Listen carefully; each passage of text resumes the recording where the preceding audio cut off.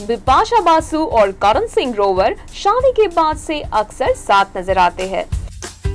यह जोड़ी कुछ विज्ञापनों में साथ नज़र आ चुकी है। फ़िल्म अलोन के सेट पर एक दूसरे के प्यार में पड़े बिपाशा और करण शादी के बाद अभी तक साथ किसी फ़िल्म में नज़र नहीं आए हैं। लेकिन अब खबर है कि यह जोड़ी फिर से बड़े पर्दे पर वापसी कर सकती है। करण सिंह ग्रोवर इन दिनों जहाँ अपनी कुछ फ़िल्मों में बिज़ी है तो वही बिपाशा अपनी ब्रांड के प्रमोशन में लगी है। मुंबई मिरर की खबर के अनुसार यह जोड़ी फ़िल्म आदत के साथ नज़र आ सकती है। इस फ़िल्म का प्रोडक्शन गायक मेगा सिंह कर रहे हैं, जिसमें करण और बिपाशा मुख्य किरदार निभाएँगे। इस जोड़ी की मज़ेदार केमिस्ट्री को ध्यान में रखते हुए खबर है कि फ़िल्म के स्क्रिप्ट में भी कुछ बदलाव किए जा सकते हैं।